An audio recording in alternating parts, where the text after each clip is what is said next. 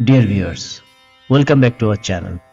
Today we are starting a new series on Brihadaranyaka Upanishad. It will be a big series, so keep your enthusiasm high always. As this is the first episode, we'll start with a small introduction, then chant a peace invocation mantra and understand that mantra. Before we begin, I recommend you to watch the previous series on Isha Upanishad to unveil the secrets of self. Links to those playlists and videos are given at the top right corner of the screen. Brihadaranyaka. The name suggests itself is a big revelation.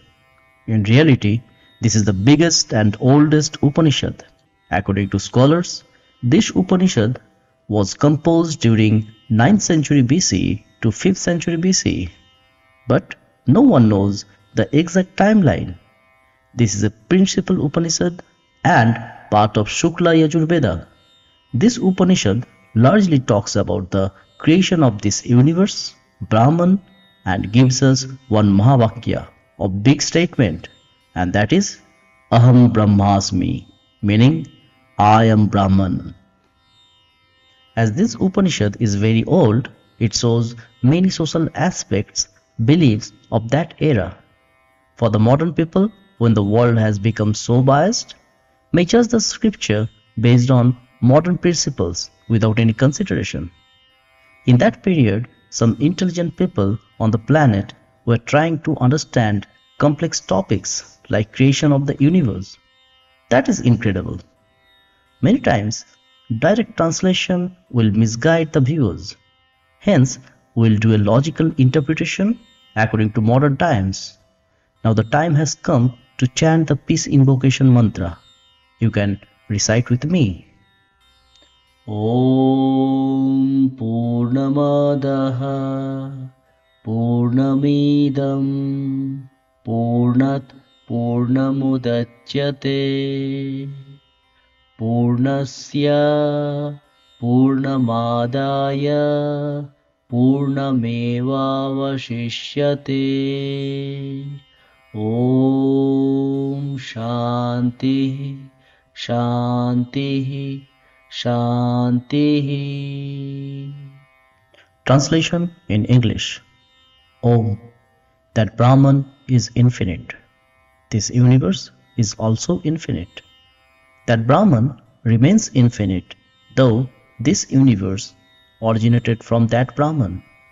Knowing this truth and realizing the infinitude of that Brahman, this self becomes infinite. Om, peace, peace, peace. This one mantra summarized everything which will be discussed in upcoming shlokas. This is a powerful mantra. Realizing only this mantra can liberate you. Let me explain to you. With a life event for everyone, a mother gives birth to a child after carrying the womb for nine months with her. After the painful process of birth, the baby sees the world for the first time and cries. Once the baby receives the mother's touch, she feels safe and stops crying. The mother and the baby in her womb is one entity, but after delivery, they are two entities. Mother doesn't die after delivery, nor the baby. Mother did not lose any parts of body after birth, nor did the baby. The baby was living in the womb by taking mother's food. After birth, the baby can breathe independently. But once she understands the beautiful lady is her mother, she stops crying and starts playing with her mother. Same way, Brahman and the universe were one entity before the birth of the universe. Brahman is self-competent to give birth to the universe. Brahman is infinite because it is endless and beginningless. It was there before this universe. It will be there after this universe.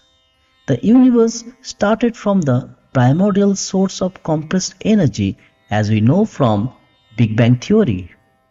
From then, this universe is expanding and we are seeing in the current shape. The universe is so huge we don't know where it ends.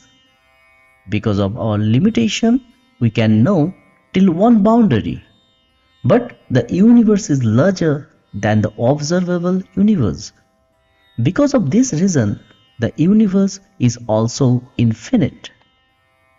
If the universe is the effect, then Brahman is the reason and even root cause of all existence. Does that mean after giving birth to this universe, Brahman lost any power? No, Brahman is beyond anything, any effect, the universe, and even imagination. It is an infinite source of consciousness. It is self competent, transcendent, and self existent. It is spread everywhere and in everything. It can give birth to millions of universe if it thinks, because it is the seed of everything. Om is a sound, name, and symbol to denote Brahman. Any shlok started with Om becomes a mantra, and it is believed a mantra has power to change life, whatever it is. For me, any mantra can change life when we can experience it and apply in our daily life. Knowing and realizing this truth, a common person can experience Brahman and can connect that infinite source of consciousness. From that point of time, the person becomes liberated and sees Brahman in everything. That seer of oneness doesn't feel hatred for anyone. Delusion and sorrow cannot touch that person. This knowledge removes ignorance from mind. Let the mind be in peace now. Let the peace be spreaded among all, and let the peace prevail in this universe. That infinite knowledge is the only goal of human life. This mantra carries a message for all hate mongers that when everything started from the same source, why are you dividing and spreading hatred? This can be used in meditation to remove depression, impurities, negative thoughts, and negative emotions. The mantra spreads peace and love to everyone. My message to everyone don't waste your precious life and start the journey of wisdom right now. Be enlightened and spread peace and love among us all. Dear viewers, be with us in this journey of Universal Vedanta movement. Do not forget to share this video with your friends and families. Like the video, subscribe to our channel if you haven't yet. Press the bell icon so that as and when any new session or video is released, you will get notified. If you have any question or want to share your thoughts, use the comment section for that.